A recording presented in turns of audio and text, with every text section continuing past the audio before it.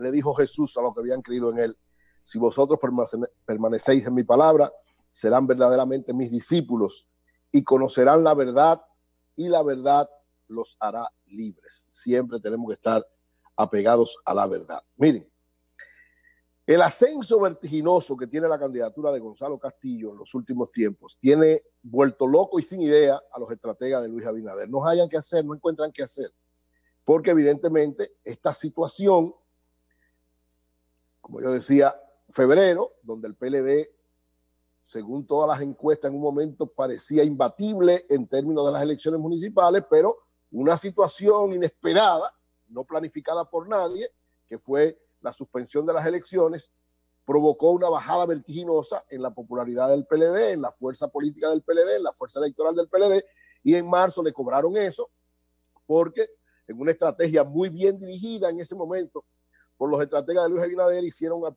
poner como responsable al gobierno y al PLD, y entonces la gente vinieron todas estas protestas, todas estas cosas, y los resultados no le favorecieron en marzo. Pero ¿qué pasa?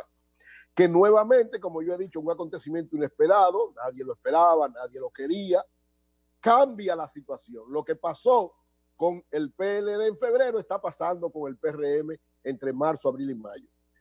El hecho de que vino esta pandemia y el gobierno la ha manejado con eficacia, con precisión, con un trato sumamente efectivo, reconocido hasta por los organismos internacionales. Esto ha levantado la imagen.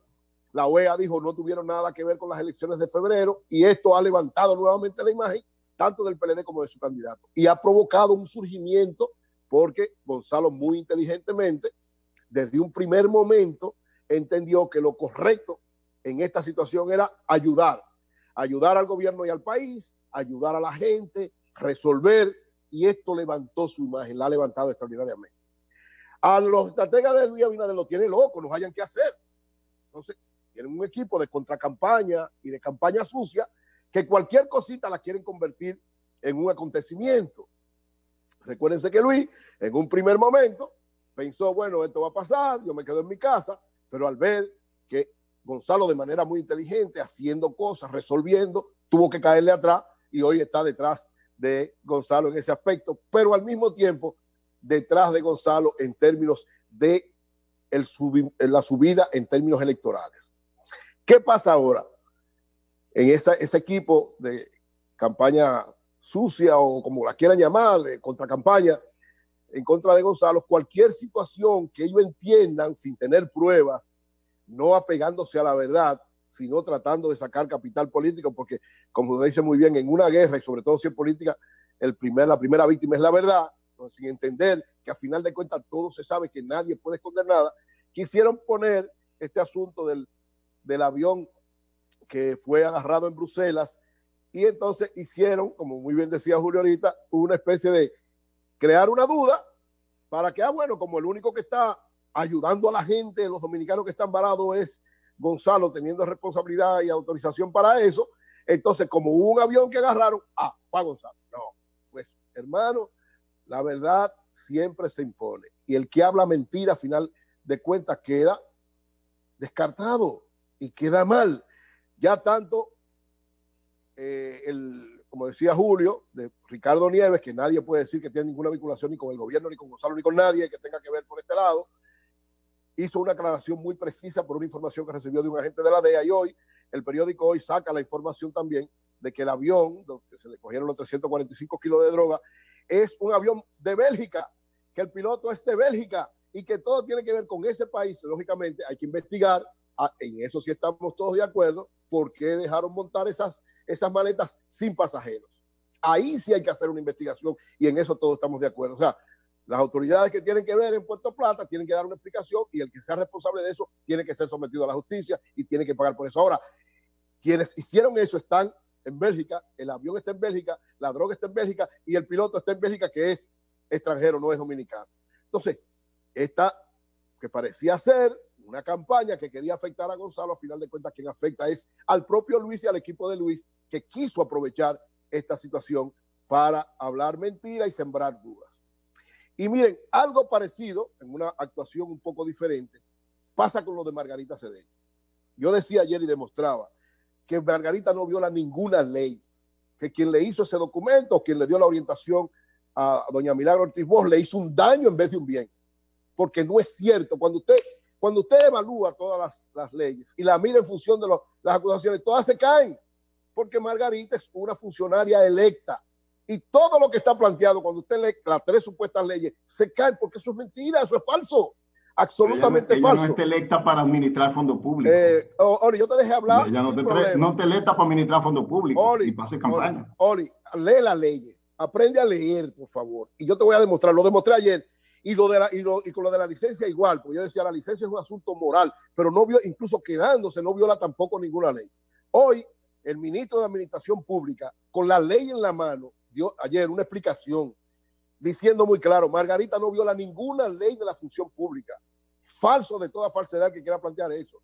¿Por qué? Sencillamente porque ella está en una función donde como funcionaria electa está ejerciendo su cargo, no puede renunciar.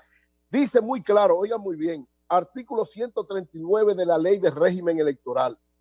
Todo funcionario empleado público debe tomar una licencia en el momento en que su candidatura sea aceptada por la Junta Central Electoral. Párrafo 2.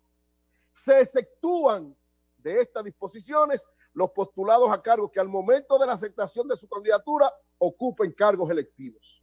Más claro ni el agua, es decir, cualquiera que no tenga cargo electivo, ministro, director, tiene que renunciar. Ahora, si tiene un cargo electivo... Pero ella es administradora, eh, ella eh, no es como dice que a ella se le pide Oli, que... Oli, déjame hablar, déjame hablar.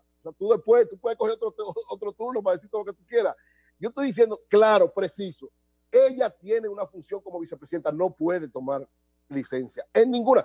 Si ella quisiera hacerlo porque quisiera, perfecto. Pues yo decía, ella no está haciendo funciones políticas, que eso es lo que sí condenan las, las leyes.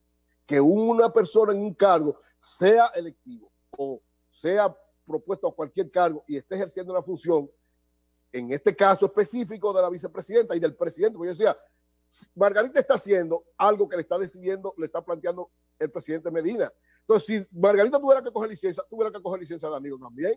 Entonces, ellos dos no pueden tomar licencia porque están en una responsabilidad frente a la nación, haciendo sus funciones para resolver problemas, no para hacer política. Ahora, una cosa es que eso se exprese políticamente, pero no es responsabilidad de ellos. Por lo cual, según el artículo 139, muy claro, Margarita no está en obligación. Si ella quiere, lo puede hacer pero no está en obligación de tomar licencia. Y dicho por el ministro de Administración Pública, no viola ninguna, ninguna ley, absolutamente ninguna ley. Yo decía, eso que ella está haciendo es lo mismo que está haciendo siempre. Exactamente la misma función y exactamente el mismo procedimiento. Ahora hay una situación de emergencia, lógicamente, esa situación de emergencia no depende de ella, pero ella simple y sencillamente está haciendo lo que siempre ha hecho. Nadie la puede criticar por eso, ni nadie puede decir que ella está usando ni recursos del Estado, ni usando su función para hacer campaña ni nada de eso. Porque una cosa es lo que ella hace como Estado y otra en su tarea política, que tiene todo el derecho como, como persona, lo hace en otro momento y en otras circunstancias. Así es que esta estrategia, lamentablemente, de los asesores de Luis Abinader, lo que muestra es su desesperación ante la nueva realidad política que está viviendo la República Dominicana. ¿Cuál es esa nueva realidad política finalmente? Que hay un ascenso vertiginoso de la candidatura de Gonzalo Castillo, sumamente importante, con, que, es, como muy bien decía Julio ahorita, es una tendencia consolidada. No es una tendencia que varió, no, es consolidada. Desde el mes de marzo hasta el, hasta el mes de mayo, casi principios de junio, la tendencia de Gonzalo Castillo es ir creciendo de manera sostenida. Su imagen, su figura, su respaldo y la visión de la gente viéndolo como quien tiene las mejores condiciones gerenciales para administrar la República Dominicana en medio de esta crisis y en medio de la crisis política, en medio de la crisis económica que viene. Entonces, eso es lo que ha dado resultado y lamentablemente todo lo que está haciendo el equipo estratégico de Luis se le está revirtiendo porque, como muy bien dice, la verdad nos hace libre y la verdad siempre se impone. Cambio fuera.